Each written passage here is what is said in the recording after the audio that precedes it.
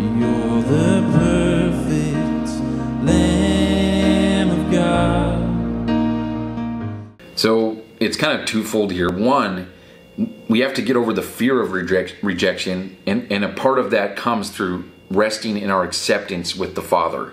So if you're accepted and you're in Christ, we stand in Christ, then He's accepted us. Nobody else can reject us. In the sense of, yes, they can reject us, or there can be a rejection of the message or of the ministry.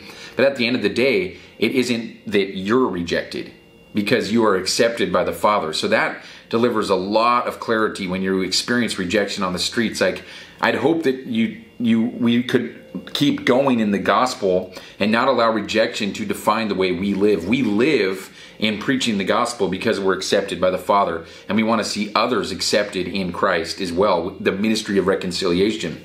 So that's a big one there. And then the second thing is like getting over the fear of rejection is even just having a good, healthy reality of what rejection is, especially here in the States.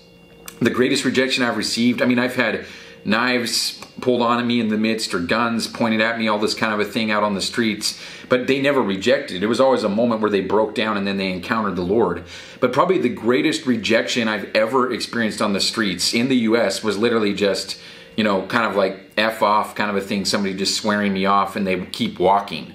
I've never been uh, beat for the gospel. I've, I've had, as I said, I've had knives turned on me, but I've never been beat for the gospel. I've never been imprisoned for the gospel, which is a huge blessing. So if you live in the States and you're asking this question, like, how do you overcome rejection? Man, part of it is like, let's get over ourselves because rejection in the States is literally like somebody just yelling at you. But I would all take getting yelled at for the sake of their soul so they don't go to hell. So rejection has a really, uh, it subsides in the weightiness of it, totally dissolves. One, when you realize your acceptance with God, and two, when you look at it in the grand scheme of eternity because in the grand scheme of heaven and hell, uh, it, rejection is is just a part of the package.